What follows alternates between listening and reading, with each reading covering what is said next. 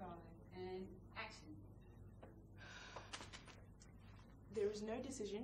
You just write the damn thing. Okay? You don't think it's weird and a little fascist? Possibly, but you don't want to be unemployed, do you? Let's just all sell our souls and work for Satan. It's more convenient that way. Oh, please, be a little bit, bit more dr- dramatic. That'd be nice. That'd be really nice.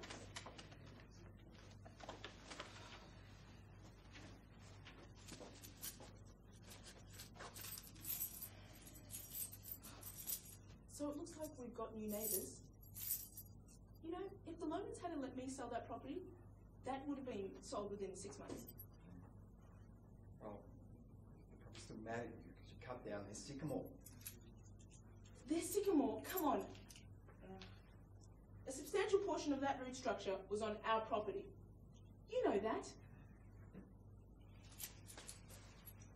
You know, I wouldn't have cut down that sycamore because it was partially mine.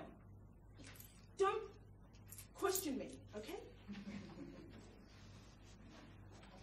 Sorry, I sorry. smiled in that one, sorry. no, no, no, it's okay. All right.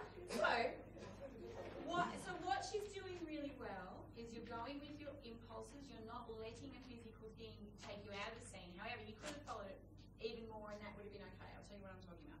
When you got out of the car and you, and you went to you went to say, "Don't touch me," Yeah. which was taking you somewhere else, and then you remember that you're meant to be looking at the neighbours. So what do you do about that?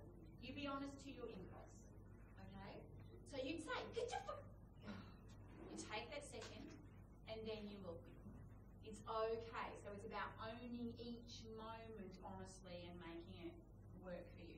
You're you're very good physically. You're very in your body.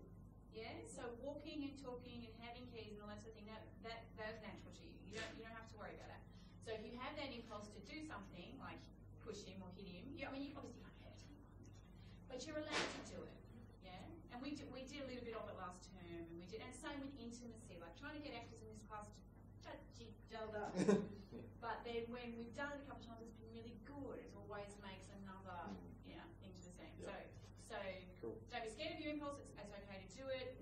Even though I told you to pick up the pace, that's the other thing I gave a direction, deliberately telling her not to run around, and then something happened. But I would rather it was true to that moment. Yeah. Yeah. Okay. Good work, Sarah. Cool.